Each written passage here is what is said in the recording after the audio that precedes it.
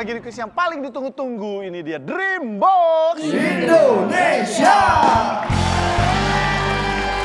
Semuanya harus semangat karena kita masuk ke babak penentuan, babak ketiga. Siapa yang berhak lolos untuk mencoba mendapatkan 50 juta rupiah.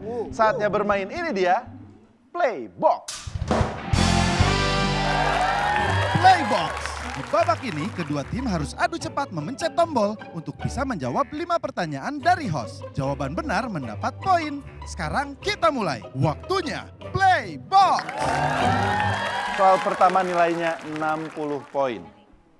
Grup musik vokal yang beranggotakan empat orang disebut apa? Cassandra? Quartet. Kuartet. Jawaban kalian betul.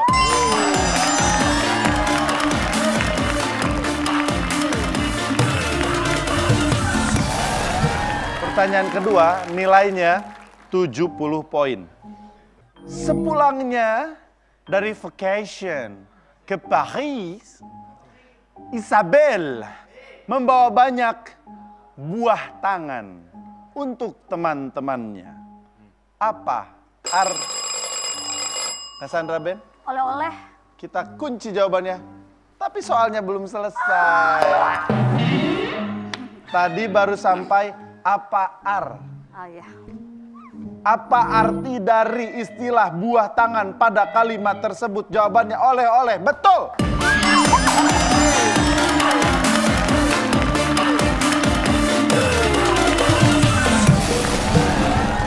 Kita masuk pertanyaan ketiga nilainya 80 poin. Grup band asal Surabaya yang digawangi oleh Piu. Planela, Padi. kita kunci jawabannya, tapi soalnya belum selesai. Grup band asal Surabaya yang digawangi oleh Piu, Fadli, Yoyo, Ari, dan Rindra ini pernah vakum tujuh tahun. Lalu kembali lagi dengan nama baru. Pertanyaannya, apa nama fans untuk grup band Padi Reborn ini? Jawaban kalian salah. Sandra? Tebak aja, tidak ada mengurangi nilai. Sobat padi. Apa? Sobat padi. Apa? Sobat padi. Jawabannya betul.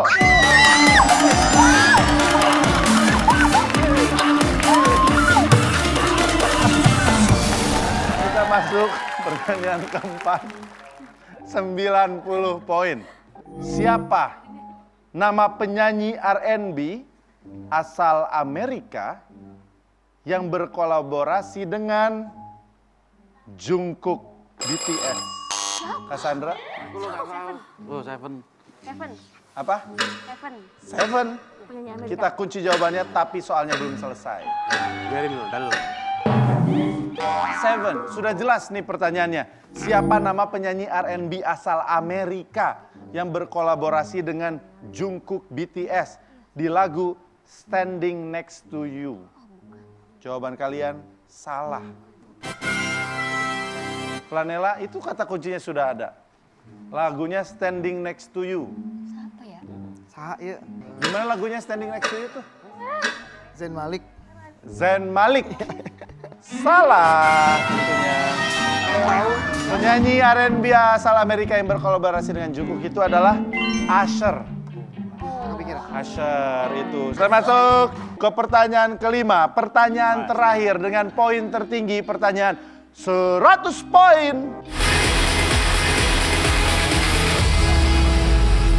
Yang ini spesial. Siapa pun yang berhasil menjawab dapat 100 poin dan tambah hadiahnya di serok duit.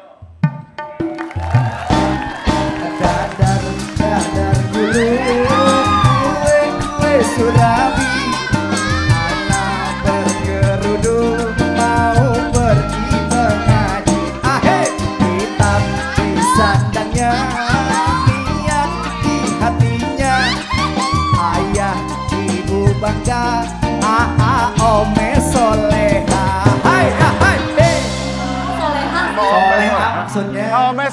Hai, hey. Soleha. Soleh.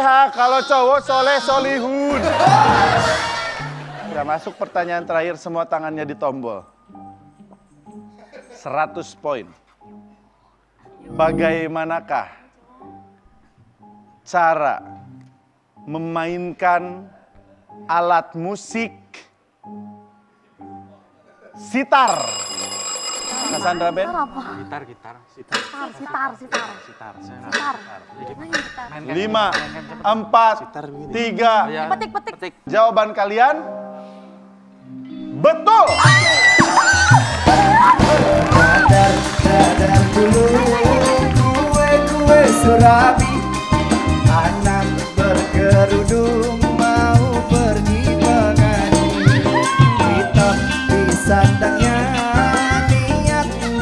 Hatinya Ayah ibu bangga Anaknya soleha Aduh. Teman-teman, siapa yang mau serok? Nah, ibu-ibu lebih jago nih, Ana nih. Pegang gagang kayunya, Ana. Nah, kamu posisinya agak kanan. Nanti matanya ditutup, tangan kiri di belakang. Tangan kiri dulu. Maju, maju, maju. Maju. Yang lain, tugas kalian lebih penting. Kasih arahan. Silakan matanya ditutup. 30 detik ya, Ana ya. Siap? 30 detik. Dimulai dari sekarang. Go! Nah, oke, oke,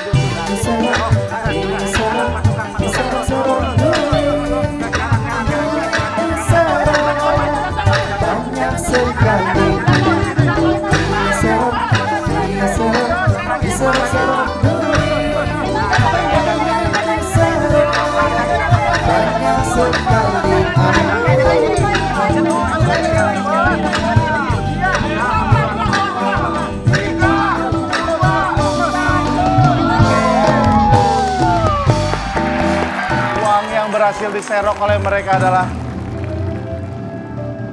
satu juta delapan ratus ribu rupiah. Ini balik lagi teman-teman. Dan sekarang saatnya kita menghitung poin dari kedua tim. Cassandra, babak pertama 30 poin, babak kedua 300 poin. Babak ketiga 310. Jadi totalnya 640 poin. Wow. Planela babak pertama 80, babak kedua 0 poin, babak ketiga 0 poin. Saya nggak bisa buletin jadi 8000 karena ada 0 tambahannya 2. Jadi poin kalian 80. Cassandra berarti siapkan satu orang bermain bersama saya untuk 50 juta rupiah. Silakan diobrolkan. Dan untuk Flanela masih ada kesempatan menambah hadiah di babak berikutnya. Nanti kita kasih tahu gimana caranya. Pemirsa, kita lihat nih Cassandra bisa bawa pulang 50 juta atau tidak. Sesaat lagi tetap di Dreambox. Indonesia